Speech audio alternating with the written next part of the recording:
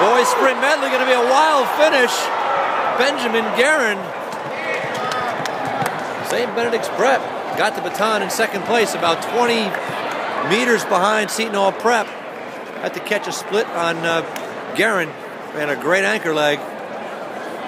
Went out real hard. Took, took the lead. And finished strong. St. Benedict's Prep off to a great start here Essex County Relays. They won the sprint med just now, and they won a DM earlier. They're locked in a great battle with Seton Hall Prep so far early on here at the Essex County Relays at the Jersey City Armory.